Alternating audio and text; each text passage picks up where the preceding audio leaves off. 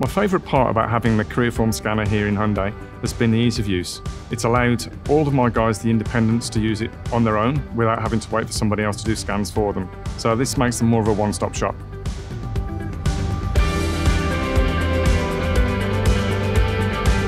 Here at Hyundai Design North America, we offer alternative designs for our parent company based in Korea.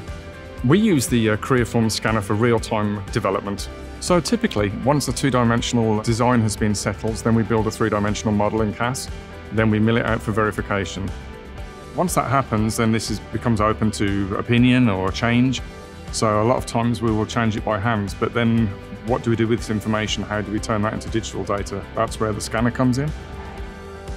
The measurements are so important because they help us comprehend where the clay model is at in relationship to all the boundaries that the design has in terms of criteria and styling.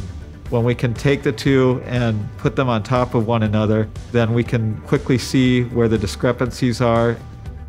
Upon doing my investigation into all the different types of technologies, Creaform came out on top for me.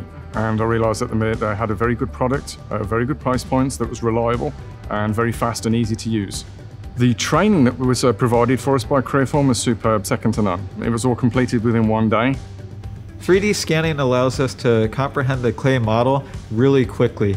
And before we didn't have that, it was a lot of post-processing time. So now with this new method, we're getting the data really quick. We can edit it and then send it back to the clay floor in the same day, and it's very, very fluid being able to go back and forth quickly helped the designers come to decisions quicker on what variant they wanted to go forward with. 3D scanning technologies will continue to be used because uh, we'll be continuously looking for better products, better surfacing, better cars, and this is uh, the correct way of going forward.